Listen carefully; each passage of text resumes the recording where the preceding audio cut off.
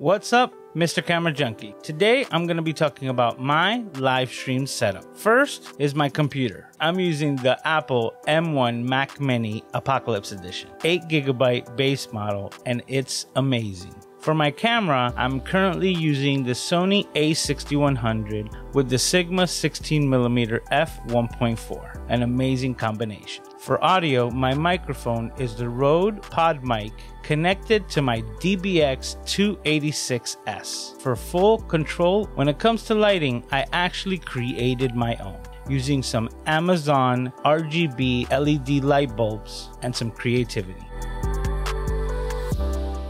and the piece of tech that helps bring it all together is my Elgato Stream Deck Mark II. Something else I use is the Elgato Camlink 4K to connect my camera to my Mac Mini. But in all sincerity, the real key is Ecamm, bringing it all together and making it extremely easy to produce my live streams. You can get yourself a 14 day free trial of Ecamm in the description below, included with the links to everything that I use. My name's Lewis, also known as Mr. Camera Junkie. If you want to be part of the crew, make sure you hit like, subscribe, and introduce yourself so that I can say hello. Thanks for hanging out with me, and I will see you next time.